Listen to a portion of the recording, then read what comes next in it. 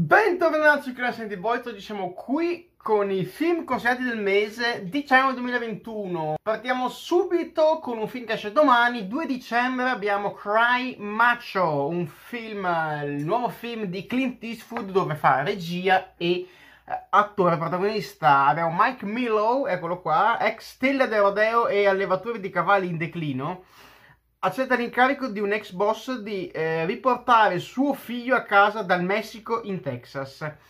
L'improbabile duo affronterà difficile, un difficile viaggio dove Mike, ormai stanco di tutto, troverà dei legami imprevisti oltre a un senso di riscatto. Questo film ha il 3000 per 1000 uscirà la, la recensione sul canale perché io Clint Eastwood lo adoro, ma chi non lo adora? E allora è un po' è sembra un po' l'unione tra um, Gran Torino e The Mule, ecco, un po' per intenderci. Sempre il 2 dicembre, sempre lo stesso giorno, abbiamo Caro Evan Hansen per la, per la regia di Steven Chosby con Ben Platt, Julie Moore e Amy Adams. Abbiamo, eccolo qua, Hansen, che è un liceale che soffre di un disturbo d'ansia sociale che lo porta ad avere difficoltà a scuola. Dopo il suicidio di un compagno di classe inizierà il suo personale viaggio alla scoperta di sé e all'accettazione del tutto. Eh, attenzione, eh, cosa molto importante, è un musical. È un musical, quindi... Eh, ma non lo sapevo. Adesso lo sapete. Un, ha una sua durata, 2 ore 20 qualcosa. Sappiate che è un musical, quindi a cazzo di cane si, si comincerà a cantare. L'8 dicembre abbiamo Nowhere Special, la regia di Umberto Pasolini con Chris Corrigan. Questo film abbiamo John, che è un lavavete di 35 anni, che vive da solo col figlio Michael, da quando la moglie lo ha abbandonato dopo la nascita, appunto, del bambino.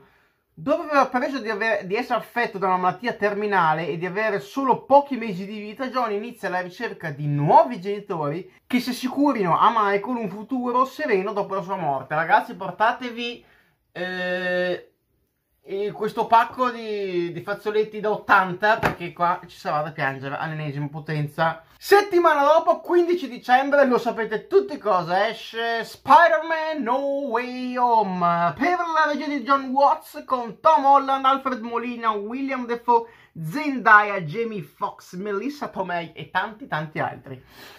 Allora, dopo gli avvenimenti di Spider-Man Far From Home, Spider-Man non è più in grado di separare la sua vita normale da quella rischiosa da supereroe.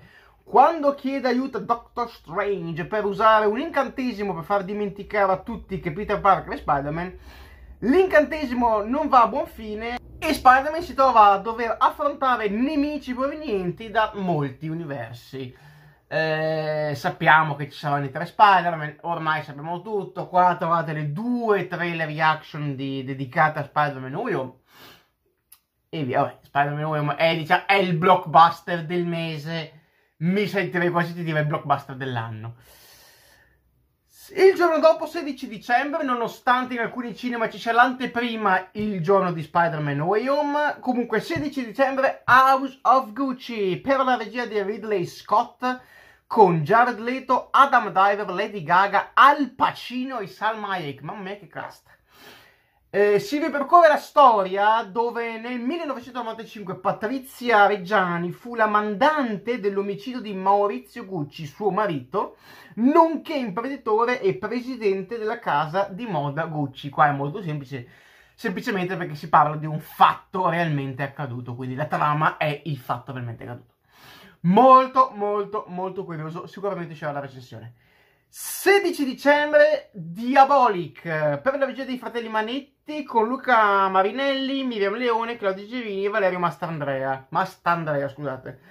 Siamo a Clavin negli anni 60 Diabolic è un ladro privo di scrupoli imprendibile dalla polizia. Eh, nel frattempo però in città arriva Lady Kent che porta con sé un diamante rosa di inestimabile valore che coglie l'attenzione di Diabolic che però si innamora perdutamente de- di Eva Kent che lo renderà più vulnerabile per la cattura dell'ispettore Ginko e della sua squadra.